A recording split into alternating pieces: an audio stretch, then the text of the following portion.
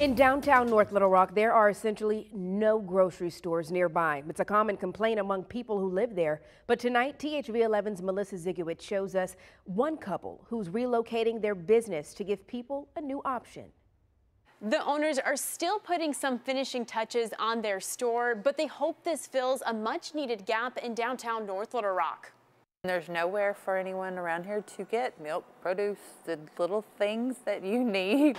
Downtown North Little Rock is bustling with new apartments and businesses. Um, there's several apartment complexes all around here, and there's nowhere where you can grab a gallon of milk or a tomato. But that's about to change. A lot of people are down here, so we're hoping that, yeah, we will be very busy. A small scale grocery store called Nana's Organix is opening soon. We had the opportunity to come move on Main Street, and what better location?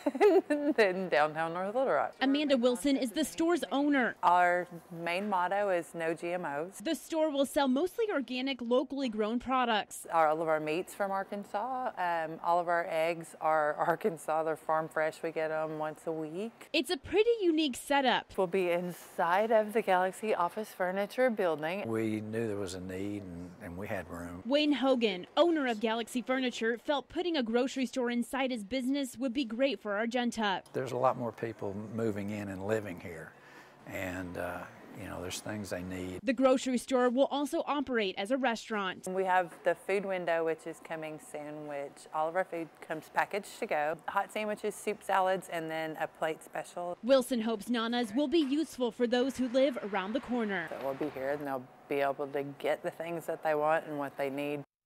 The Wilsons are still waiting on an inspection from the health department, but they hope to be open by February 1st.